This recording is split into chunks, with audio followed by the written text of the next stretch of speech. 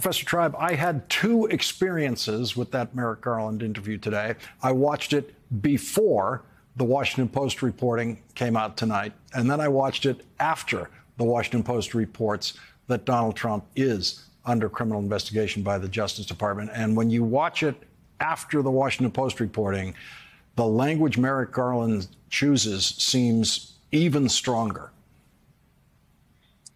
I agree. It seems to me very clear that when Lester Holt asked Merrick Garland, Aren't you worried about tearing the country apart? All of these possible collateral consequences of criminally prosecuting a former president. There are so many ways that Merrick Garland could have answered. He could have said, Well, we have to weigh everything, we take everything into account. it is the job of the attorney general to weigh all these factors. But I'm glad he didn't. He very carefully said, almost, almost said, well, that's above my pay grade. That's not my job. I'm the chief prosecutor. I follow the evidence where it leads. And when he said that, of course, he knew, he had to know. And he had to know when he was scheduling this interview that people who had testified before the grand jury had spoken to people at the Washington Post. He had to know, didn't know exactly what Carol Leonnig's story would say, but he had to know that the fact that the president is being investigated, the former president is being investigated as a potential target of a criminal prosecution would become public. And in light of that, when he chose to say, that's not my business, I'm not the healer in chief. It's not my job. It might be the president's job when he's asked perhaps to grant a pardon the way Ford did to Nixon. It's someone else's jurisdiction to worry about those things. But when I heard him say that in the first place, I thought that's a very good sign. It suggests that he is not usurping a role that doesn't belong to him.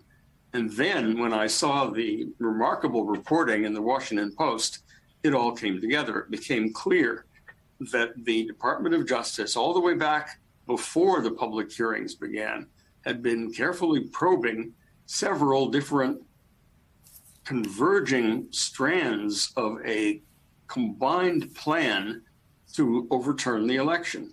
The strand that involved pressure on Pence, hence asking probing questions of Marc Short and of, uh, of Greg Jacobs, and the strand that involved phony electoral certificates, all of it coming together. And it seems to me that when Merrick Garland said what he did, he was coming as close as would have been appropriate to say, yes, we are investigating Donald Trump because we have to make sure that whoever is responsible for attempting to overturn the election is held criminally accountable. He couldn't quite say that, but interpreting somebody that I've known for 50 years, that's what I was hearing him say. And then reading the Washington Post, I thought, yep, that was it. So we are now on a completely different phase. We now know that a former president who quite obviously did all he could uh, to overturn the election is not going to get away without being carefully probed by this department.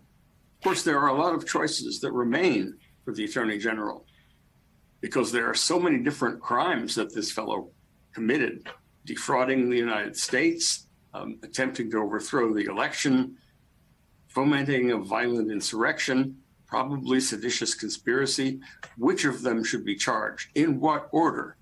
all of those decisions, sequential decisions, what evidence, that isn't necessarily going to be decided overnight, but those are decisions of a typical prosecutorial kind. They are not momentous decisions about whether the attorney general is going to make history. And I think he's performing his job admirably. And those of us, including me, who were impatient, I think have now been told, see, I was really ahead of the game all along.